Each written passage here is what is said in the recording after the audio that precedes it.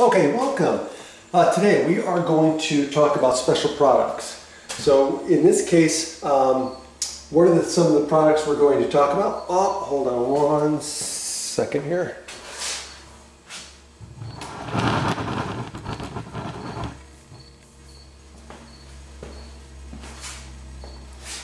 Okay, that's better. Okay, sorry about that. Okay, so we're going to start talking about special products.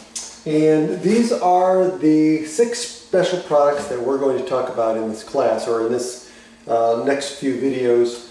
Um, now, a lot of these video, a lot of these special products come from just using the distributive property and other basic um, operations. Okay, so again, these are the ones you're going to want to thoroughly memorize. You're going to want to know these and know how they're done. And by carefully studying these special products, you'll be able to recognize when they're to be used and to be able to use them quickly. Okay? Uh, for example, this is just the distributive property, right? This one is actually using the distributive property twice and then just uh, using basic operations to simplify it. Okay?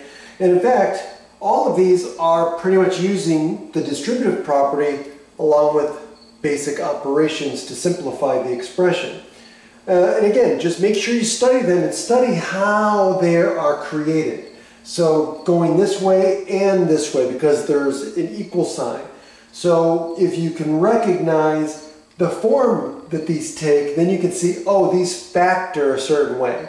Or if you see that, oh, they match up with one of these uh, forms, then you say, oh, it must be this when we make the product or we, you know, uh, take the product of the two.